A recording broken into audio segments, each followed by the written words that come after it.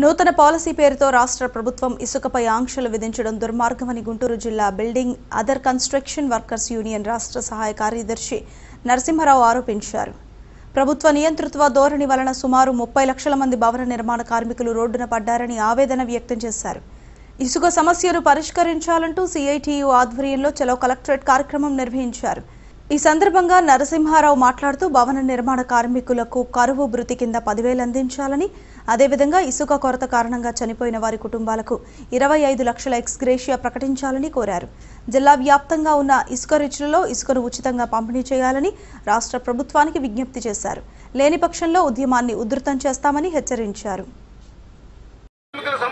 ఇబ్బంది వచ్చినా ఆ సమస్య యొక్క ప్రాధాన్యతని మనకు సంబంధించిన వాళ్ళు సంబంధం లేని వాళ్ళు అందరూ గుర్తించేటట్టుగా ఓ పెద్ద ప్రయత్నం వల్ల ఆ రకంగా లేనందువల్లనే ఇట్లాంటి ఊహించినటువంటి అవాంతరాలు పిడుగులు లాంటి బాధలు మనకు వస్తున్నాయి. కార్మిక సంఘాలు అక్కడ బలంగా ఉంటుంది నిరంతరం మన మధ్య సంబంధాలు ఉండాలా? నిరంతరం సమావేశాలు వచ్చినటువంటి బీఓసీ యాక్ట్ ఏదైతే ఉందో బీవీసీ వెల్ఫేర్ ఫండ్ ఏదైతే ఉందో ఆ వెల్ఫేర్ ఫండ్ ద్వారా ఎన్ని సౌకర్యాలు మనం పొందుతున్నామో ఇవాళ ఆ- పని ఆ కార్యక్రమాలు మనం ఉన్నామో? ఉన్నారు ప్రశ్నించుకోవాలా కార్మికులందరూ ఐక్యమయ్యి ప్రభుత్వ పాలకులు తీసుకొస్తున్న